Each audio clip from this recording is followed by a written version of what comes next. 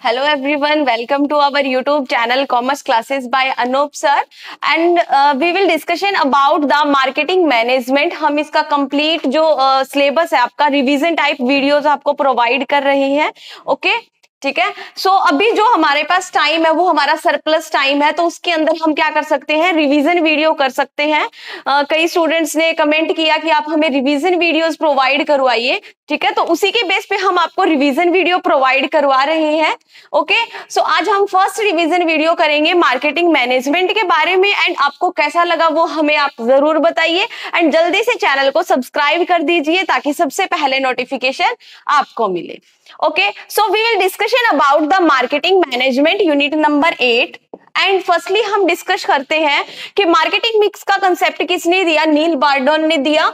And four piece किसके द्वारा दिए गए? मेकार्थी के द्वारा दिए गए। अभी हम डिस्कशन करेंगे जो मेन मेन टॉपिक है या जो कंसेप्ट है मेन जो आपके पेपर पॉइंट ऑफ़ व्यू से इंपॉर्टेंट है। Okay okay? उसके बारे में हम डिस्कशन करेंगे पूरा सिलेबस के। फ़र्स्ट हम डिस्कशन करेंगे concept approaches marketing channel, marketing mix and strategic marketing planning. Firstly, we will discussion about the concept of marketing. First concept is this and approach is, is this. Okay so अगर approaches की बात करते हैं firstly we will discussion about the product and commodity approaches product and commodity approaches में हम include करते हैं, जहाँ पे हम फोकस करते हैं प्रोडक्ट के ऊपर. Okay okay? जो जैसा नाम है जिस अप्रोच का, वैसा ही क्या होता है, इनका काम होता है. लाइक like फ़र्स्ट अगर हम बात करते हैं प्रोडक्ट अप्रोच की सो so जब हमारा बेसिकली ज़्यादा जो फोकस रहता है, वो प्रोडक्ट के ऊपर रहता है, वो हमारी होती है product approach second institution approach institutional approach कौन सी होती है? Focus on the institution like the retail wholesaler export exporter ठीक है? जो इन पे होता है, वो होती है हमारी इंस्टीट्यूशनल अप्रोच होती है। Third one is functional approach functional approach के बेस पे आपको पता ही होगा as you all know functions of the marketing functions क्या क्या होते हैं हमारे मार्केटिंग के। अगर बताती हूँ, इसका होता है यहाँ पे function buying function selling pricing standardisation storage transportation, advertising, packaging etcetera okay next हम करते हैं मैनेजमेंट अप्रोच मैनेजमेंट अप्रोच के अंदर हम इंक्लूड करते हैं लेटेस्ट एंड साइंटिफिक अप्रोच है ये आपकी एंड फोकस करती है role of decision making of the level of the firm, यानी कि फॉर्म के द्वारा क्या डिसीज़न लिया जाता है related to the product, related to the pricing strategy etcetera उसके बारे में डिस्कशन किया गया है। नेक्स्ट अगर सोसाइटल अप्रोच की हम बात करते हैं सोसाइटल अप्रोच होती है like welfare of the society okay? कि यानी कि हम जो प्रोडक्ट बना रहे हैं, जो भी हम मार्केटिंग कर रहे हैं, वो सोसाइटी के लिए कितना बेनिफिशियल है या सोसाइटी की नीड को फुलफिल कर रहा है या फिर नहीं कर रहा?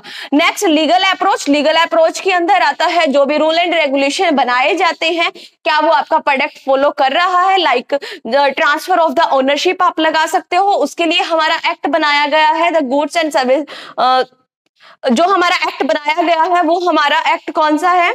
एक्ट है हमारा related to the goods sales of goods act 1930 sales of goods act 1930 and next आता है इकोनॉमिक अप्रोच इकोनॉमिक अप्रोच होती है based on the demand and the supply ठीक है? ये हमारा ज़्यादा बेसिकली इंपॉर्टेंट नहीं रोल प्ले करती मार्केटिंग के अंदर बट इसके बारे में हम थोड़ा सा डिस्कशन करते हैं।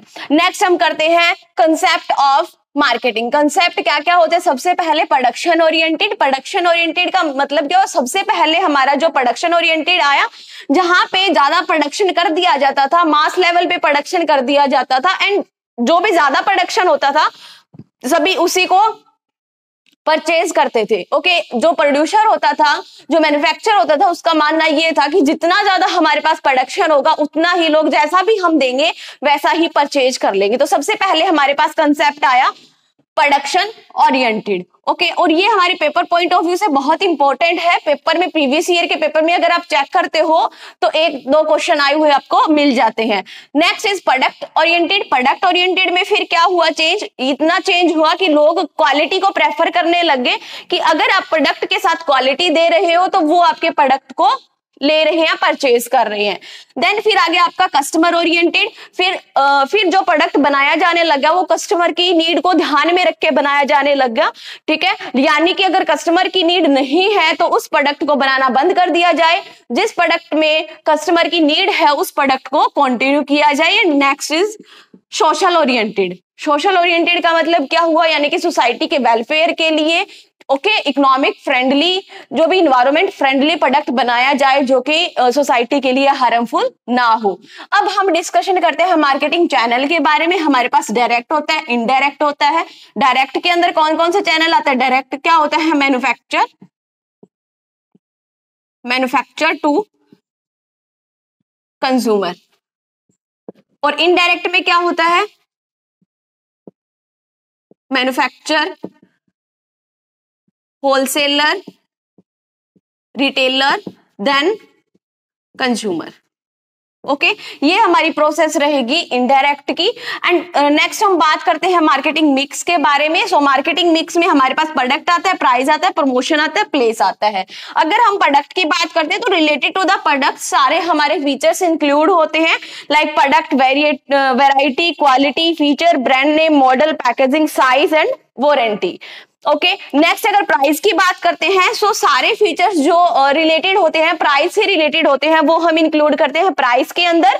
Discount allowance payment period credit term and resale prices okay hope so आप सभी को अच्छे से समझ आ रहा है ओके okay? ये हमारा रिवीजन वीडियो रहेगा सो मैं इसके बारे में आपको ऑल ओवर बता रही हूँ। नेक्स्ट आएगा फिर प्रमोशन प्रमोशन के अंदर आ जाता है sale promotion advertisement sale force public relation and direct marketing place में आ जाता है यहाँ पे चैनल ऑफ़ डिस्ट्रीब्यूशन क्या रहेगा आपका? Location inventory and transport okay next अब हमारा आता है strategic marketing planning strategy marketing planning हमारी कितने लेवल पे होती है? First one is corporate level corporate यानी कि जो हमारी पूरी ऑर्गेनाइजेशन है, उसके लेवल पे हम प्लानिंग करते हैं. सेकंड डिवीज़न लेवल या फिर as you all know division level is which level in which describe and based on the function function के बेस पे जब हम क्या कर रहे हैं डिस्क्राइब कर रहे हैं या फिर डिवाइड कर रहे हैं। नेक्स्ट आता है बिज़नेस यूनिट बिज़नेस यूनिट वो यूनिट होती है जहाँ से आपको मैक्सिमम प्रॉफिट अराइज हो रहा है, जो भी आप प्रोडक्शन कर रहे हो। नेक्स्ट प्रोडक्ट प्रोडक्ट के बारे में यानी कि जो प्रोडक्ट आप बना रहे हो, उससे रिलेटेड अभी हम बात करते हैं मार्केट सेगमेंटेशन जो मार्केट सेगमेंटेशन होता है, वो हमारा जिग्रोफिकल लेवल पे होता है डेमोग्राफिक साइकोलॉजिकल एंड बिहेवियर यानी कि हमारा जो बेस रहता है, वो हमारा इन इन इन इनके ऊपर डिपेंड रहता है कि हम कैसे मार्केट सेगमेंटेशन कर रहे हैं और बेसिकली अगर हम बात करते हैं कि मार्केट सेगमेंटेशन क्या होता है, सो मार्केट सेगमेंटेशन होता है कि जब हम अकॉर्डिंग टू द क्राइटेरिया जब हम डिवाइड करते हैं, हमारे प्रोडक्ट को लगा सकते हो ओके okay? लाइक like अगर जियोग्राफिकल की अगर हम बात करते हैं, सो जैसे कि अलग अलग लोकेशन पे उसी के अकॉर्डिंग जब हम मार्केट को क्या कर रहे हैं सेगमेंटेशन कर रहे हैं, उसके अकॉर्डिंग कोडिंग नेक्स्ट आता है फिर टारगेटिंग टारगेटिंग मार्केटिंग क्या होता है कि हम किस कस्टमर को टारगेट कर रहे हैं? जो हमने प्रोडक्ट बनाया है, वो हम कौन सी हमारी जो कौन सा हमारा जो मार्केट है, वो टारगेट है कि अर्बन एरिया हमारा टारगेट है रूरल एरिया हमारा टारगेट है तो हमारी टारगेट मार्केट कौन सी है? नेक्स्ट अगर मैं बात करती हूँ पोजिशनिंग की तो पोजिशनिंग में आता है कि आपके प्रोडक्ट की कस्टमर के माइंड में क्या पोजिशन है, क्या वैल्यू है, क्या ब्रांड वैल्यू है तो वो आ जाता है आपका पोजीशन के अंदर। सो so, अभी हमने ये किया है हमने जो फ़र्स्ट पार्ट है हमारा नेक्स्ट हम करते हैं अभी प्रोडक्ट डिसीज़न प्रोडक्ट डिसीज़न के बारे में हमारे प्रोडक्ट डिसीज़न में कौन कौन से टॉपिक इंक्लूड होते हैं? Number one concept product decision का क्या होएगा? एंड सेकंड आएगा product line product mix decision product life cycle इन सब के बारे में हम डिस्कशन करेंगे ओके? सो uh, so हम स्टार्ट करते हैं। अभी सबसे पहले हम देखते हैं कि प्रोडक्ट डिसीज़न किसके द्वारा दिया गया था। सो so, प्रोडक्ट डिसीज़न दिया गया था थोड़े लेविट के द्वारा दिया गया था प्रोडक्ट डिसीज़न अब अगर हम कंसेप्ट की बात करते हैं कि अगर हम कोई भी प्रोडक्ट को बनाते हैं तो उसमें कि, किस टाइप का हम कंसेप्ट अप्लाई करते हैं तो सबसे पहले आता है कोर प्रोडक्ट कोर प्रोडक्ट होता है जो हमारी बेसिक नीड को फुलफिल करता है।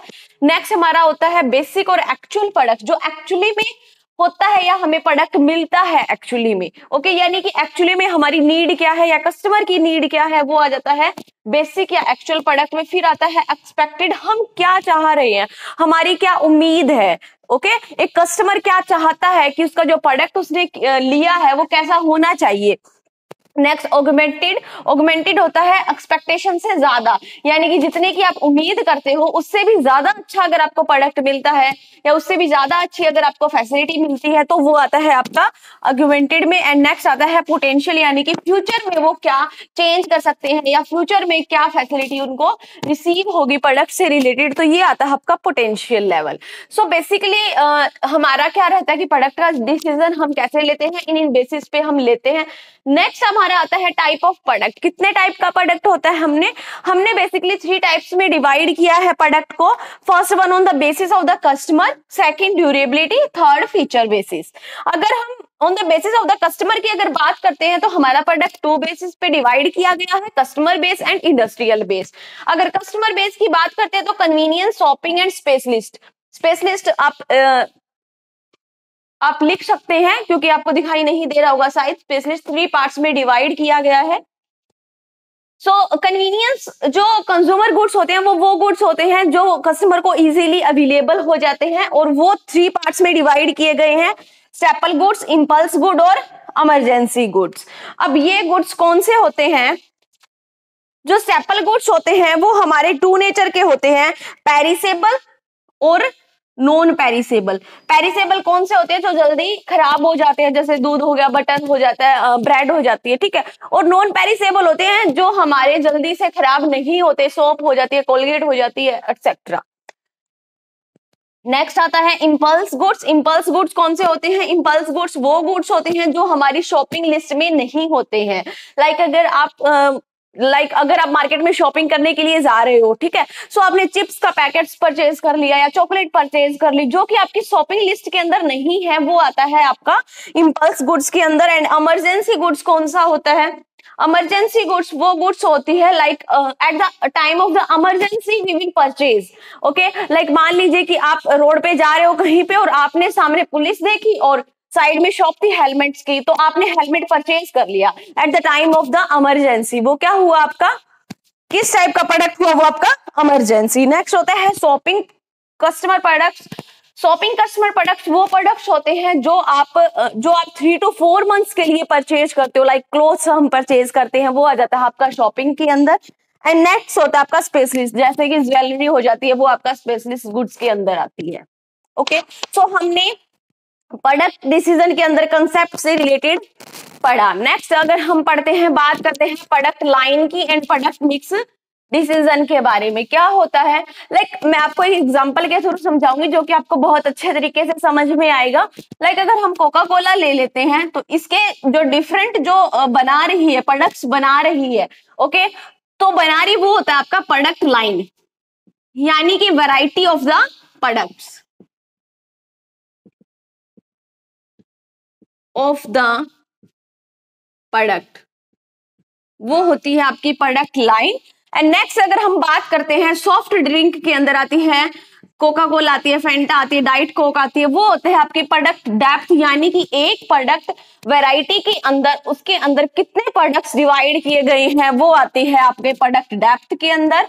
एंड अगर हम प्रोडक्ट लेंथ की बात करते हैं सो अगर हम प्रोडक्ट लाइन को और प्रोडक्ट डेप्थ को हम क्या कर देते हैं? ऐड कर देते हैं दोनों को तो वो आ जाती है हमारी प्रोडक्ट लेंथ और अगर हम प्रोडक्ट विड्थ की बात करते हैं so total number of product line is called a product width okay next अगर हम बात करते हैं हमारा पीएलसी के बारे में product life cycle as you all know product life cycle क्या होता है? सबसे पहले इंट्रोडक्शन स्टेज आती है, फिर growth maturity and decline okay इसके अंदर से भी हमारा क्वेश्चन आने के मोस्ट प्रोबेबली ज़्यादा चांसेस रहते हैं, क्योंकि जो ये चार स्टेजेस होती है, कब लॉस होता है, कब कब हमें प्रमोशन करना चाहिए, कब हमें सेल हमारी डाउन होती है, कब हमारी अप होती है, ये सारा डिसीज़न हम किसके बेस पे लेते हैं? इंट्रोडक्शन स्टेज के बेस पे growth stage maturity stage and declining stage अब हम करते हैं process of new product development यानी कि जब कोई भी हम नया प्रोडक्ट लॉन्च करते हैं जब न्यू प्रोडक्ट का डेवलपमेंट करते हैं तो हमारी क्या स्ट्रेटेजी रहती है? कैसे हम स्टेप बाय स्टेप चलते हैं? फर्स्टली क्या होता है? आइडिया जनरेशन सबसे पहले हमारे माइंड में क्या आता है? आइडिया आता है कुछ ना कुछ जैसे कि हमारे माइंड में कुछ ना कुछ आइडिया चलते रहते हैं। सो so, आइडिया आता है और फिर हम आइडिया की स्क्रीनिंग करते हैं। यानी कि जो बेटर आइडिया होता है उसको हम अडॉप्ट कर लेते हैं। और जो आइडिया हमारे लिए सही नहीं होता है उसको हम ड्रॉप कर देते हैं। नेक्स्ट आएगा कंसेप्ट डेवलपमेंट एंड टेस्टिंग अगर मैं कंसेप्ट डेवलपमेंट एंड टेस्टिंग की बात करूँ तो इसके अंदर आता है it it which detail version of new product idea is started in meaningful customer terms इसने बोला यहाँ पे ओके okay, यानी कि कोई भी नया आइडिया जो स्टार्ट किया गया है ठीक है? यानी कि कस्टमर की प्रेफरेंस के द्वारा बताया गया है। ठीक है? तो वो आ जाता है आपका कंसेप्ट डेवलपमेंट यानी कि आप रफली टेस्ट करके देखते हो। यानी कि कोई कस्टमर की नीड अराइव हो रही है तो आपने उसको रफली टेस्ट करके देखा कि क्या ये आइडिया रिलीवेंट है या नहीं है। वर्जन है, कोई भी प्रोडक्ट का न्यू वर्जन आप स्टार्ट कर रहे हो। ओके सो नेक्स्ट आएगा फिर आपका कंसेप्ट टेस्टिंग टेस्टिंग में यही होता है कि लोगों को पता नहीं होता इंटरनली यूज़ करते हैं। ठीक है?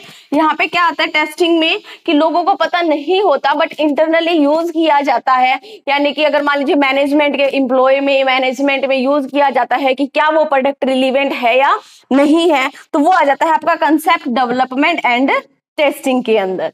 फिर फोर्थ वन हमारा पॉइंट आता है marketing strategy development how we will introduce the strategy यानी कि इसके अंदर आ जाता है हमारा कि सेगमेंट क्या होगी? Segmentation target and positioning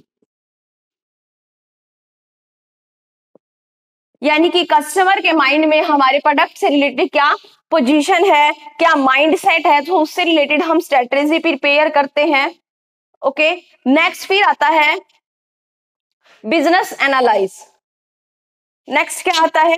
business analyse business का एनालाइज करना। अब बिज़नेस का एनालाइज हम कैसे कर सकते हैं?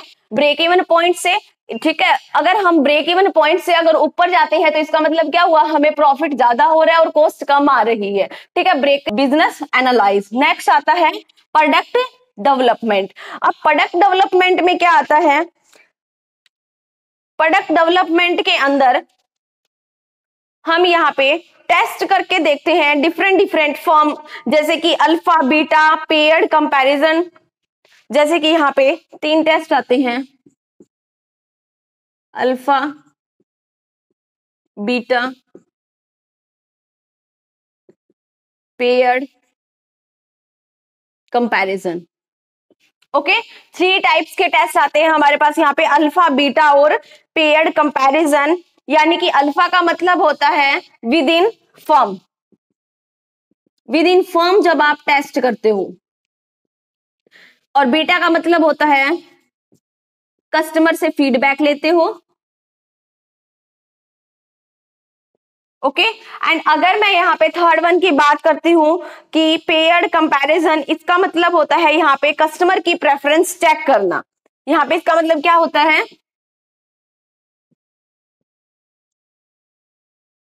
कस्टमर की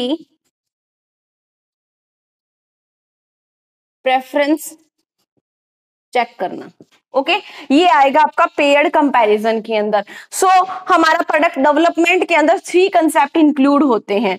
अभी आता है फिर आपका मार्केट टेस्टिंग मार्केट टेस्टिंग क्या होता है कि जब हम एक्सटर्नली एक्सटर्नली टेस्ट को वेरीफाई कर रहे हैं कैसे लाइक like, मान लीजिए कि जैसे एक्सटर्नल कैसे वेरीफाई करते हैं यानी कि शॉप जो रिटेलर्स की शॉप होती है वहाँ पे कुछ सैंपलिंग दे जाते हैं कि आप कस्टमर को दीजिए। अगर कस्टमर अच्छा बता रहे हैं एक कोई भी एक हमने मार्केट सेलेक्ट कर ली वहाँ पे हम क्या करते हैं टेस्टिंग करते हैं। नेक्स्ट आता है फिर कॉमर्शलाइजेशन अगर मार्केट में हमारा जो प्रोडक्ट है वो पास हो जाता है यानी कि लोगों की प्रेफरेंस में आ जाता है सो उस प्रोडक्ट को हम कॉमर्शलाइजेशन कर देते हैं, उसको हम जर्नलाइज कर देते हैं सोसाइटी के अंदर और कस्टमर उस प्रोडक्ट की डिमांड करने लगते हैं। अब एक कंसेप्ट और रहता है हमारा इसके अंदर की फाइव अडोप्टर ग्रुप कौन कौन से होते हैं five adopter group first one is a innovator innovator कौन होते हैं? जो जो टेक्नोलॉजी लवर होते हैं या जो टेक्नोलॉजी को और लेटेस्ट प्रोडक्ट को जो जो यूज़ करना चाहते हैं, वो होते हैं आपके इनोवेटर्स जो यानी कि आप बोल सकते हो कि जो चेंज को इंजॉय करते हैं, वो पर्सन होते हैं इनोवेटर नेक्स्ट आता है अर्ली अडोप्टर अर्ली अडॉप्टर कौन से होते हैं? अर्ली अडॉप्टर के अंदर आपका आएगा carefully adopt plus technology carefully adopt plus वो नई नई टेक्नोलॉजी को अडॉप्ट करना चाहते हैं। नेक्स्ट फिर अगर मैं बात करती हूँ, यहाँ पे आएगा अर्ली मेचोरिटी अर्ली मेचोरिटी में आता है कि जब आपकी टेक्नोलॉजी फ़ेमस हो गई है, ठीक है, सभी को पता चल गई है ऑलमोस्ट तब वो यूज़ करते हैं। वो आता है अर्ली मेचोरिटी के अंदर। और लेट मेच्योरिटी में कौन से आते हैं? लेट मेच्योरिटी में जो टेक्नोलॉजी को बहुत फ़ेमस हो गई है पता चल गया है कि प्रोडक्ट अच्छा है खराब है मीडियम है कैसा है तो यूज़ करते हैं और लास्ट में आता है लिगार्ड्स इसके अंदर आता है जो भी पर्सन लेट होते हैं जो चेंज को एक्सेप्ट नहीं करते वो पर्सन आता है आपका लास्ट स्टेप के अंदर। सो so, ये हमने किया है अभी product decision and next topic हम करेंगे अभी प्राइसिंग डिसीज़न कैसे लिया जाता है। ओके? okay? प्रीवियस में हमने पढ़ा है प्रोडक्ट डिसीज़न कैसे क्या होता है प्रोडक्ट के बारे में। अभी हमने अभी हम कर रहे हैं pricing decision okay? So we will discussion about the pricing what is pricing सबसे पहले अगर हम बात करते हैं कि प्राइसिंग क्या होता है सो so, जब हमारा प्रोडक्ट बन के तैयार हो जाता है उसके बाद हम क्या डिसाइड करते हैं? प्राइस डिसाइड करते हैं। तो प्राइस डिसाइड करने की क्या प्रोसेस रहती है? क्या क्या चीज़ें उसके अंदर इंक्लूड होती है? उसके बारे में हम डिस्कशन करेंगे। So let start first is pricing pricing में इंक्लूड होता है। Firstly we will include cost selling expenses and profit margin यानी कि जो भी कॉस्ट आई है और जब हम उसको सेल कर रहे हैं, उस टाइम जो हमारे एक्सपेंसेस लगे और प्रॉफिट जो होता है, जो हमारा प्रॉफिट हमें रिमेनिंग uh, रहा है जो हमारा प्रॉफिट मार्जिन होता है वो सब हम प्राइसिंग के अंदर डिस्कशन करते हैं। तो बेसिकली हम थ्री टर्म्स के बारे में नॉलेज गेन करने के लिए हम प्राइसिंग के टॉपिक की स्टडी करते हैं। फर्स्टली हम करते हैं टाइप ऑफ़ प्राइसिंग यानी कि जो प्राइसिंग होता है वो कितने टाइप का होता है। फर्स्टली होता है फेयर प्राइस फेयर प्राइस का मतलब क्या होता है? जो कि ना मैक्सिमम होता है जो कस्टमर जिसको अडॉप्ट कर सके या जिसको प्रेफर कर सके ओके जो फेयर होता है हर कस्टमर के लिए, वो होता है आपका फेयर प्राइस सही एंड सेकंड होता है टिपिकल प्राइस टिपिकल प्राइस कौन सा प्राइस होता है? टिपिकल प्राइस वो प्राइस होता है, या तो सबसे ज़्यादा होता है, या फिर सबसे कम होता है। नेक्स्ट अगर हम बात करें last price paid so last price paid वो प्राइस होता है जो हमने लास्ट लास्ट टाइम परचेज करते टाइम जो हमने पे किया है, वो प्राइस हमारा होता है last price paid next is upper bound price जो हमारा मैक्सिमम प्राइस रहता है।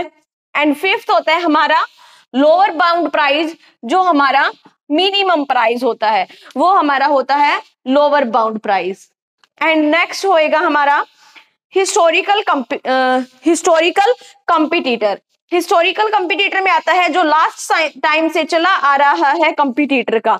जो कि लास्ट जो कि प्रीवियस टाइम से जो कंपिटिटर का प्राइस चला आ रहा है, उस प्राइस को हम अडॉप्ट कर रहे हैं।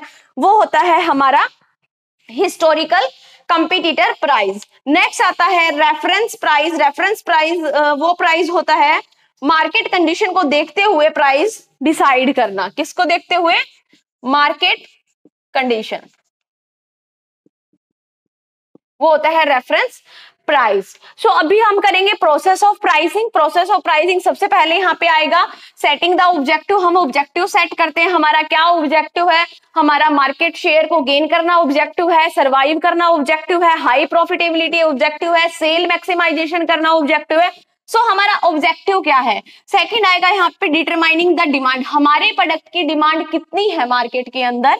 And third one is estimate cost हमारी कॉस्ट क्या आ रही है उस प्रोडक्ट को बनाते time and next is analyse competitor cost यानी कि हमारी कॉस्ट क्या है? और हम एनालाइज करते हैं कि जो कंपिटिटर वही सेम प्रोडक्ट बना रहे हैं उनकी कॉस्ट क्या आ रही है?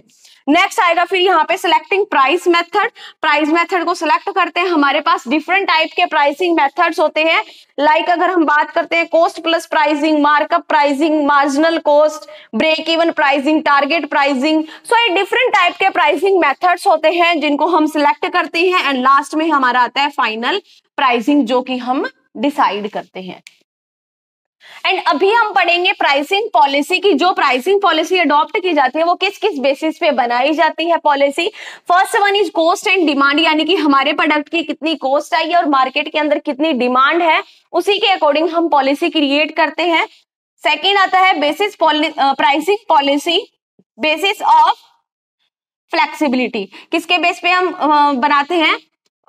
फ्लेक्सिबिलिटी के बेस पे, यानी कि फिक्स एंड फ्लेक्सिबल फिक्स का मतलब होता है कि जो उन्होंने प्राइस रख दिया, वही सेट प्राइस रख दिया। और फ्लेक्सिबल का मतलब होता है डिफरेंट कस्टमर से आप डिफरेंट प्राइस आप चार्ज कर रहे हो।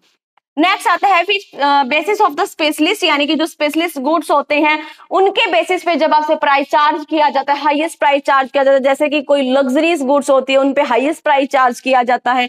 एंड नेक्स्ट आता है जियोग्राफिकल लोकेशन यानी कि लोकेशन के अकॉर्डिंग भी प्राइस चार्ज किया जाता है। लाइक अगर रूरल एरिया में कितना चार्ज किया जाता है अर्बन एरिया में कितना चार्ज किया जाता है जहाँ पे लाइक like अगर लोकेशन की बात करते हैं जैसे बस स्टैंड है वहाँ पे अगर आपको कोई चीज़ें मिल रही है तो वो किस प्राइस में मिल रही है उनका क्या प्राइसेस डिसाइड है। सो so, लोकेशन भी अफेक्ट करती है आपके प्राइसिंग पॉलिसी को। नेक्स्ट अभी हम टॉपिक करते हैं प्रमोशन डिसीज़न यानी कि जब प्रमोशन कब करते हैं जब हमारा कोई भी प्रोडक्ट बन के तैयार हो जाता है सो हम प्रमोशन करते हैं। अब प्रमोशन मिक्स के अंदर हम बेसिकली चार चीज़ें इंक्लूड करते हैं। First one first one is advertising second one is personal selling third one is publicity fourth one is sale promotion so अगर फर्स्टली बात करते हैं as you all know advertising क्या होता है? Advertising is a non personal paid form होती है हमारी। क्या होता है advertising non personal paid form यानी कि हम कुछ ना कुछ अमाउंट पे करते हैं। नेक्स्ट अगर अगर एडवर्टाइजमेंट की अगर हम बात करते हैं सो एडवर्टाइजमेंट के एडवांटेज डिसएडवांटेज वो सब आपको पता हुआ वो नॉर्मल सी चीज़ें हैं। ठीक है? नेक्स्ट आएगा यहाँ पे पर्सनल सेलिंग पर्सनल सेलिंग क्या होता है? फेस टू फेस सेलिंग क्या बोल सकते हैं हम? फेस टू फेस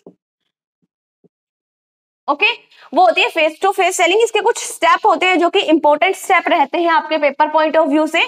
तो यहाँ पे सबसे पहले आएगा प्रोस्पेक्टिंग करना। प्रोस्पेक्टिंग का मतलब क्या हुआ कि आपके पास कोई भी प्लान है, कोई भी प्रोडक्ट के बारे में नॉलेज है, वो आप कस्टमर को शो कर रहे हो। वो आएगा आपका प्रोस्पेक्टिंग के अंदर। Next is pre approach pre approach के अंदर क्या आता है कि आपको सारी प्रोडक्ट से रिलेटेड और जिस कस्टमर को आप शो कर रहे हो प्रोडक्ट, उसकी नॉलेज होनी चाहिए सारी की सारी आपको कि जो कस्टमर है, उनका बैकग्राउंड क्या है, उनकी नॉलेज क्या है, क्या उनको, क्या उनकी प्रेफरेंस रहेगी, उन सब के बारे में आपको पता होना चाहिए। थर्ड वन आता है आपका प्रेजेंटेशन आप कितने अच्छे तरीके से प्रेजेंट कर रहे हो चीज़ों को, ठीक है? मान लीजिए आपका कोई भी प्रोडक्ट है, उसको प्रेजेंट करने के तरीके से ही कस्टमर उसको परचेज करता है ठीक है? तो वो आता है आपका third one is presentation and fourth one is overcoming objection यानी कि कोई भी कस्टमर है, वो ऑब्जेक्शन तो उठाएगा। अगर आपको अगर आप उसको कोई नया प्रोडक्ट सेल कर रहे हो तो वो ऑब्जेक्शन तो उठाएगा।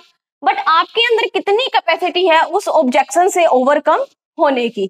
नेक्स्ट इज़ क्लोजिंग करते हो and six is follow up fellowship आप फॉलो अप में आएगा आपका कि उस कस्टमर को आप कितना फॉलो कर रहे हो, कोई भी प्रोडक्ट देने के लिए या सेल करने के लिए, वो आ जाता है आपका पर्सनल सेलिंग के अंदर। नेक्स्ट फिर आता है पब्लिसिटी जो पब्लिसिटी होती है, वो आपकी नेगेटिव भी हो सकती है और पॉजिटिव भी हो सकती है। नेक्स्ट आता है सेल प्रमोशन सेल प्रमोशन जो किया जाता है, वो शॉर्ट टर्म के लिए किया जाता है। सेल प्रमोशन जैसे कि मान लीजिए, जैसे आपको डिस्काउंट पे कोई चीज़ें दी जा रही है, दिवाली के टाइम पे सेल प्रमोशन किया जाता है ट्रेड फेयर लगाए जाते हैं तो वो सारा सेल प्रमोशन का पार्ट ही हो जाता है। तो ये था हमारा प्राइसिंग पॉलिसी और promotion decision discussion about the distribution channel and distribution decision अभी हमने प्रीवियस में पढ़ा प्राइसिंग पॉलिसी क्या होती है?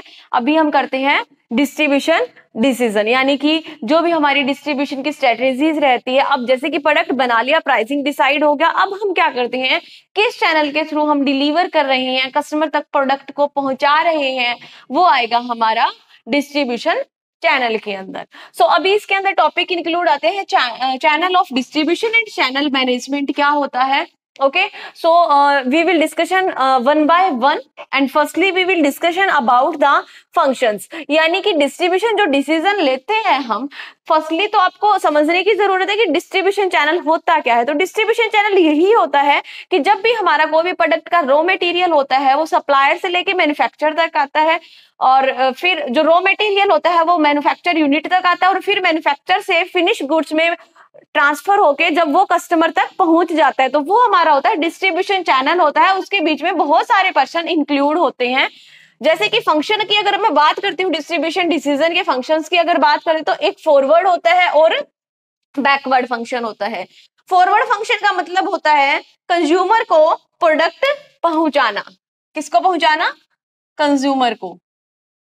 एंड बैकवर्ड का मतलब होता है जब कंज्यूमर आपको फीडबैक प्रोवाइड कर रहे हैं तो वो आ जाता है बैकवर्ड फ़ंक्शंस ओके नेक्स्ट हम बात करेंगे सप्लाई चेन की. सप्लाई चेन क्या होता है? ये हमारे प्रीवियस ईयर में भी क्वेश्चन आया हुआ है कि सप्लाई चेन क्या होता है. सो so, अगर मैं अपस्ट्रीम को और डाउनस्ट्रीम को ऐड कर देती हूँ तो वो हमारा होता है सप्लाई चेन अब अपस्ट्रीम क्या होता है? अपस्ट्रीम होता है raw material components part up finish goods तक की जो भी एक्टिविटी आती है, वो आएगी आपकी अपस्ट्रीम के अंदर। Up to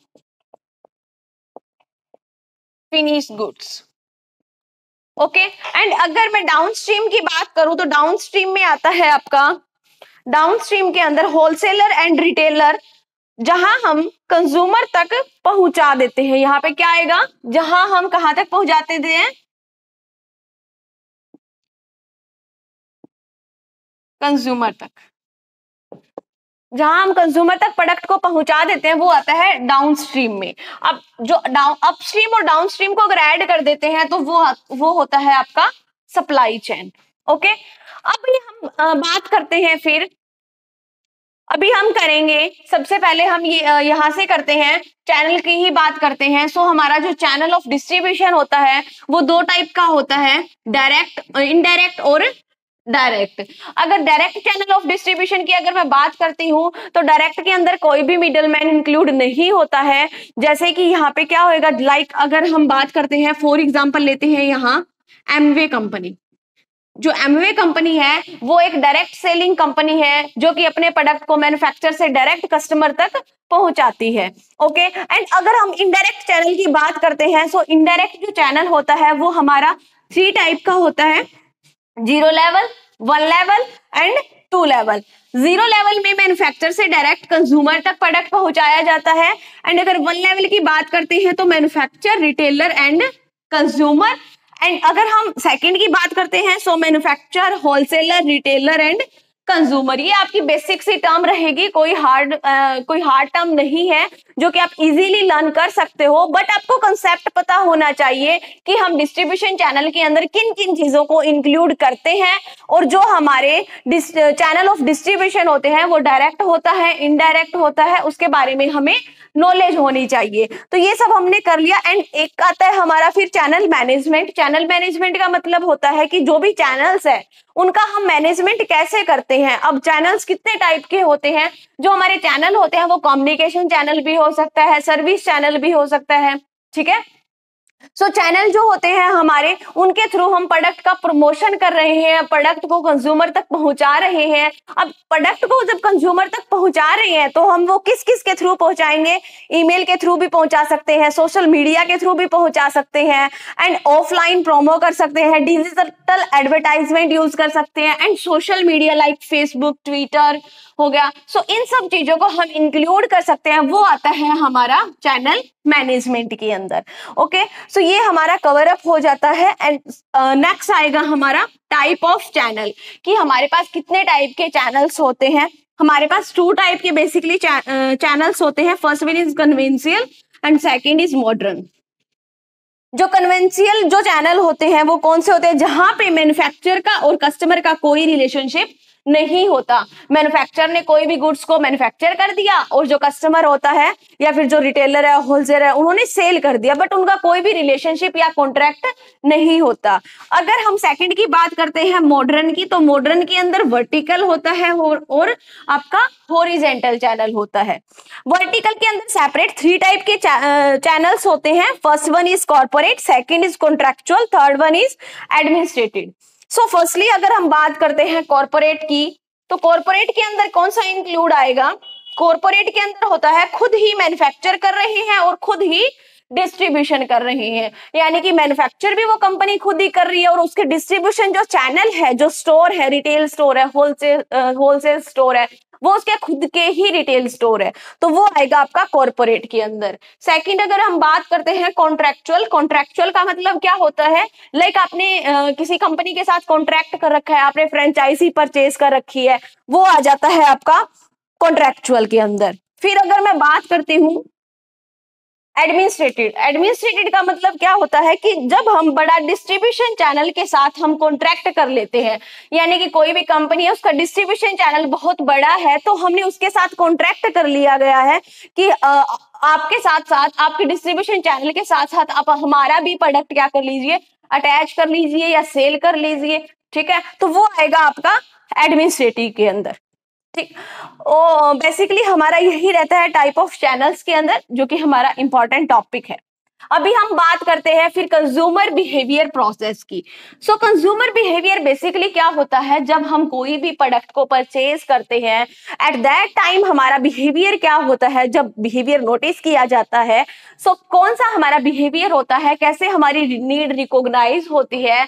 और फिर हम किसी भी प्रोडक्ट को परचेज करते हैं सो so, उसके बारे में डिस्कशन बताया गया। और इससे रिलेटेड भी हमारा क्वेश्चन बनता है।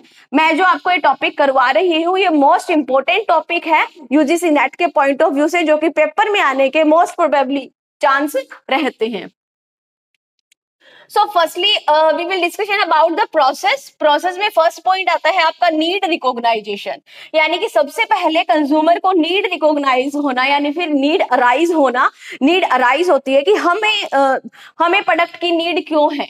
ओके? Okay? सो so, सबसे पहले हमें अगर मान लीजिए आपको कोई uh, कोई प्रोडक्ट परचेज करके लेके आना है तो सबसे पहले क्या होगा? आपको उसकी नीड अराइज होगी ठीक है? तभी आप उसको परचेज करोगे या फिर बिना ही नीड अराइज परचेज कर देते हो? बिना नीड अराइज तो हम नहीं परचेज करते ना? ऐसे तो पैसे वेस्ट नहीं करते। जिस चीज़ की हमें नीड होती है हम उसी चीज़ पे पैसा लगाते हैं। तो यहाँ पे आता है नीड रिकॉग्नाइज सेकंड आता है इंफॉर्मेशन सर्च फिर हम उस प्रोडक्ट से रिलेटेड इंफॉर्मेशन कलेक्ट करते हैं, अपने फ्रेंड सर्कल से पूछते हैं फैमिली से पूछते हैं ओके जहाँ से भी हमें इंफॉर्मेशन मिलती है इंटरनेट पे सर्च करते हैं फेसबुक पे यूट्यूब पे सर्च करते हैं कि ये जो प्रोडक्ट है, ये हमारे लिए रिलीवेंट है या फिर रिलीवेंट नहीं है क्या क्या फीचर्स होने चाहिए, वो आ जाएगा आपका इंफॉर्मेशन सर्च के अंदर। Third one is evaluation alternative यानी कि अगर हम uh, कोई भी पर्टिकुलर प्रोडक्ट ले रहे हैं उसके अल्टरनेटिव में क्या प्रोडक्ट है जो हमारी सेम नीड को फुलफिल कर सके? वो कौन सी नीड है या कौन सा प्रोडक्ट है? फोर्थ वन इज़ परचेज फिर हम परचेज करते हैं and fifth one is post purchase behaviour यानी कि कोई भी प्रोडक्ट अगर हमने परचेज कर लिया, उसके बाद हमारा बिहेवियर क्या है? हम पॉजिटिव हैं, हम नेगेटिव हैं, हम उस प्रोडक्ट को लेके सेटिस्फाई हैं नॉन सेटिस्फाई है तो वो आ जाता है आपका कंज्यूमर बाइंग बिहेवियर के अंदर। अब जो कंज्यूमर बाइंग बिहेवियर होता है, उसको बहुत सारे फैक्टर अफेक्ट करते हैं। जैसे कि मैंने बताया आपको कि जब भी आप कोई भी प्रोडक्ट परचेज कर रहे हो at that time you will consult many people like family friends okay? So so your uh, behavior is affect very easily next one जैसे कि यहाँ पे बात करते हैं हम यहाँ पे कौन कौन से फैक्टर अफेक्ट करते हैं? इकोनॉमिक फैक्टर अफेक्ट करता है पर्सनल फैक्टर अफेक्ट करते हैं साइकोलॉजिकल फैक्टर अफेक्ट करते हैं and cultural and social factor affect करते हैं।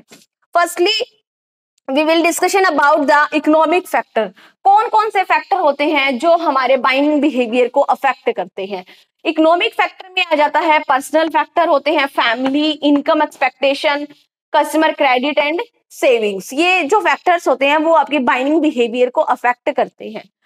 पर्सनल में कौन कौन से आ जाते हैं? आपकी एज आ जाती है, आपकी occupation life cycle and personality फिर अगर साइकोलॉजिकल की बात करते हैं so motivation involvement perception learning lifestyle attitude ये जो पॉइंट्स होते हैं ना, इन्हीं से रिलेटेड आपका क्वेश्चन आता है। क्वेश्चन में आपको पूछा जाता है कि कौन से पर्सनल फैक्टर है, कौन से इकोनॉमिक है साइकोलॉजिकल है एंड कल्चरल है। अब अगर कल्चर की बात करते हैं so so related to the culture factor affect the binding behaviour like culture effect करता है सब कल्चर इफ़ेक्ट करता है social class opinion leader and role and status तो ये सारे जो फैक्टर होते हैं ये आपके बाइंडिंग बिहेवियर को अफेक्ट करते हैं। ओके सो नेक्स्ट अभी हम करते हैं ट्रेंड्स इन मार्केटिंग कि मार्केटिंग के जो ट्रेंड होते हैं वो क्या क्या है क्या क्या मार्केटिंग के अंदर इंक्लूड करते हैं और हम करेंगे लॉजिस्टिक मैनेजमेंट ये करते ही हमारी जो मार्केटिंग uh, जो मैनेजमेंट है वो हमारी कंप्लीट हो जाएगी हमारा कंप्लीट रिवीजन होगा। सो हम बिना देरी किए हुए करते हैं अभी ट्रेंड्स इन मार्केटिंग सबसे पहले आता है हमारा सोशल मार्केटिंग सोशल मार्केटिंग कौन सी मार्केटिंग होती है? वो मार्केटिंग होती है जो हम सोशल के वेलफेयर के लिए करते हैं। लाइक like, मान लीजिए कोई भी प्रोडक्ट है वो अपना प्रमोशन कर रहा है बट वो कुछ पार्ट सोसाइटी के लिए भी कर रहा है। ओके? सो उसका जो कुछ पार्ट है प्रॉफिट का कुछ पार्ट सोसाइटी के वेलफेयर के लिए जा रहा है, वो होती है आपकी सोशल मार्केटिंग नेक्स्ट अगर हम ऑनलाइन मार्केटिंग की बात करते हो तो as a all know that online marketing is related to the internet related to the Instagram Facebook YouTube वो होती है हमारी ऑनलाइन मार्केटिंग लाइक अगर हम कोई भी अगर मार्केटिंग इंटरनेट के थ्रू कर रहे हैं तो वो हमारी होती है, हम ऑनलाइन रिप्रेजेंट कर रहे हैं, हम हमारे हम हमारे प्रोडक्ट को हम प्रोडक्ट का प्रमोशन वगैरह कर रहे हैं। नेक्स्ट होती है green marketing so green marketing होती है हमारी इन्वायरमेंट फ्रेंडली या फिर इकोनॉम हम बोल सकते हैं कि जो कि हमारे इन्वायरमेंट को हार्मफुल ना करे। हमारे इन्वायरमेंट पे रिवर्स इफ़ेक्ट ना हो ह्यूमन बींग के ऊपर रिवर्स इफ़ेक्ट ना हो तो वो होती है हमारी ग्रीन मार्केटिंग जो कि हेल्थ के ऊपर गलत इफ़ेक्ट ना करे। लाइक like अगर जैसे कि मान लीजिए कोई भी सामान की जो पैकेजिंग है, वो इस तरह से पैकेजिंग की जानी चाहिए जिनका थ्री आवर्स में यूज़ कर सके recycle reduce reuse okay so इस तरीके से हमें हमारे प्रोडक्ट्स के लिए यूज़ करना चाहिए। पैकेजिंग इस तरीके की यूज़ करनी चाहिए जो कि जिसका रीयूज हो सके। नेक्स्ट फिर आता है डायरेक्ट मार्केटिंग जो डायरेक्ट मार्केटिंग होती है, वो रिलेट रिलेट करती है डायरेक्टली डायरेक्टली टू कस्टमर यानी कि कोई भी गुड्स मैन्युफैक्चर से प्रिपेयर होते ही डायरेक्टली कस्टमर के पास जा रहा है। उसकी जो भी एडवर्टाइजमेंट की जाती है, वो होती है डायरेक्ट मार्केटिंग नेक्स्ट आएगा next is CRM customer relationship marketing customer relationship marketing क्या होता है कि जब हमारा कस्टमर के साथ वेल एंड गुड रिलेशनशिप होता है और कस्टमर जो हमारा होता है, वो रिटेन करके जब हम रखते हैं लाइक एक कस्टमर हो गया, वो हम, हमारे प्रोडक्ट के ऊपर रिटेन है, हम उसको जो भी प्रेफरेंस कर रहा है, हम उसी के अकॉर्डिंग प्रोडक्ट दे रहे हैं या उनकी नीड को फुलफिल कर रहे हैं वो होता है हमारा कस्टमर रिलेशनशिप हमारा क्लाइंट के साथ रिलेशनशिप कैसा है? वेल well मेंटेन है नहीं है? हम बार बार उनको कांटेक्ट कर रहे हैं या फिर नहीं कर रहे तो वो होता है हमारा क्लाइंट के साथ रिलेशनशिप कैसा है? वो आ जाता है आपका कस्टमर रिलेशनशिप मार्केटिंग के अंदर ओके सो नेक्स्ट आएगा हमारा फिर रूरल मार्केटिंग जो रूरल मार्केटिंग होती है वो होती है आ, उसके अंदर हमारे फोर एज आते हैं जो कि बहुत इंपॉर्टेंट है। ओके फोर एज के बारे में इसके अंदर इंक्लूड हो जाता है अफोर्डेबिलिटी लाइक like अगर मान लीजिए रूरल एरिया के जो पीपल है, क्या वो उस प्रोडक्ट को अफोर्ड कर सकते हैं? अवेलेबिलिटी क्या उन तक जो प्रोडक्ट बनाया गया है, वो अवेलेबल है या नहीं है? या कहीं अवेलेबल ही नहीं है? नेक्स्ट आता है फिर अवेयरनेस उन लोगों को क्या अवेयरनेस है एंड एक्सेसिबिलिटी क्या वो एक्सेस कर पा रहे हैं या एक्सेस यानी कि यहाँ पे आप बोल सकते हो जो रूरल एरिया के जो पीपल्स होते हैं, उनके लिए जो मार्केटिंग की जाती है, उनके लिए जो फेयर प्राइस के प्रोडक्ट्स अवेलेबल करवाए जाते हैं अफोर्डेबल होते हैं, वो आ जाता है आपका रूरल मार्केटिंग के अंदर। फिर हम बात करते हैं सर्विस मार्केटिंग की। सर्विस मार्केटिंग का हमारे पेपर में बहुत बार क्वेश्चन पूछा गया है पीवाई क्यू में इंपॉर्टेंट रहता है। इसके करेक्टरिस्टिक इंपॉर्टेंट है जो कि इसकी करेक्टरिस्टिक क्या होती है? फ़र्स्ट वन इज़ इन्वॉल्वमेंट जो सर्विस होती है वो क्या होती है? इन्वॉल्व हो, इन्वॉल्वमेंट होता है उसके अंदर लाइक अगर आप कोई भी सर्विस अगर आप गेन कर रहे हो तो आपको उसके अंदर इन्वॉल्व होना पड़ता है। तभी आप सर्विस का बेनिफिट ले सकते हो। नेक्स्ट इज़ इंटेंजिबल जो हमारी सर्विस होती है वो इंटेंजिबल होती है जिसको हम टच नहीं कर सकते। Third one is perishable nature की होती है and variability person to person vary करती है। अब हम करते हैं लॉजिस्टिक मैनेजमेंट लॉजिस्टिक मैनेजमेंट क्या होता है? जो भी हमारा ट्रांसपोर्टेशन का जो काम होता है, जो हमारा रॉ मटेरियल से लेके प्रोडक्ट का बनने तक और बनने से फिर कस्टमर तक पहुँचने का जो प्रोसेस होता है, उसको हम लॉजिस्टिक मैनेजमेंट कहते हैं कि हम कैसे सारी चीज़ों को मैनेज करते हैं और हम कस्टमर तक प्रोडक्ट को पहुंचाते हैं। तो जो लॉजिस्टिक मैनेजमेंट होता है बेसिकली टू टाइप्स का होता है इनबाउंड एंड आउटबाउंड इनबाउंड के अंदर क्या होगा कि सप्लायर टू कंपनी यानी कि कोई भी रॉ मटेरियल जो होता है सप्लायर से लेके कंपनी तक जो पहुँचता है, वो आता है आपका इनबाउंड के अंदर एंड आउटबाउंड के अंदर कौन सा आता है? कंपनी टू कस्टमर यानी कि कंपनी से फिनिश गुड्स प्रिपेयर हो गया और कस्टमर तक जब पहुँच रहा है, वो आएगा आपका आउटबाउंड के अंदर इंक्लूड होगा। अभी हम पढ़ते हैं most important topic seven hours of logistic अब सेवन आवर्स क्या होते हैं? राइट टू द प्रोडक्ट यानी कि कस्टमर को राइट प्रोडक्ट प्रोवाइड करवाया जाना चाहिए। राइट क्वांटिटी में राइट कंडीशन में राइट टाइम राइट कस्टमर को right price and right place तो ये हमारे सेवन आर है लॉजिस्टिक के। सो so, इसी को कंप्लीट करते हुए हमारी जो मैनेजमेंट जो मार्केटिंग है वो हमारी कंप्लीट हुई। सारी मार्केटिंग के मैंने ऑल ओवर कंसेप्ट को कवर अप करने की कोशिश की है। होप सो आपको भी ये वीडियो बहुत अच्छा लगा होगा और आपके लिए बहुत हेल्पफुल होगा। ओके okay, सो so आपको हमारा एफर्ट कैसा लगा? वीडियो कैसी लगी? आप प्लीज़ कमेंट बॉक्स में ज़रूर बताएँ। और अगर आपको कोई और भी टॉपिक से रिलेटेड या कोई भी यूनिट से रिलेटेड अगर आपको रिविजन वीडियो चाहिए है तो आप हमें कमेंट करके बता सकते हैं, ओके? एंड ज़्यादा से ज़्यादा आप इस वीडियो को शेयर कीजिए ताकि आपके फ्रेंड्स को और भी हेल्प मिल सके, ओके? okay? और स्टूडेंट्स तक पहुँच सके और रिवीजन कर सके ताकि वो भी एनटीए यूजीसी नेट की अच्छे से प्रिपरेशन कर सके। Thank you everyone.